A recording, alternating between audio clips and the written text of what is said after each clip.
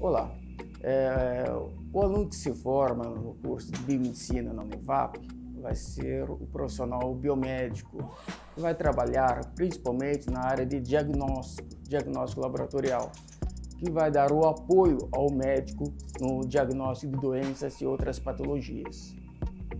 O diferencial de você realizar o curso de Biomedicina na Univap é justamente porque no final do último do curso, nos dois últimos semestres, você poderá realizar é, a, o estágio em duas habilitações, análises clínicas e pesquisa. Cada habilitação é com 500 horas de estágio.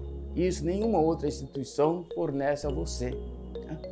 É, o curso ele sempre é atualizado com disciplinas é, que estão sendo abordados no mercado de trabalho.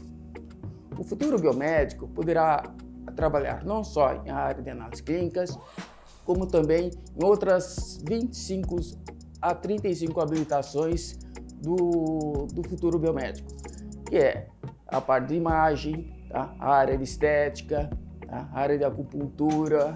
Então, existe um vasto campo de trabalho para o futuro biomédico.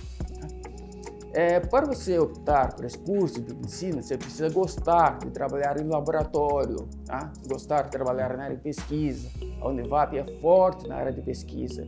Os nossos cursos é, são normalmente compostos por poucos alunos.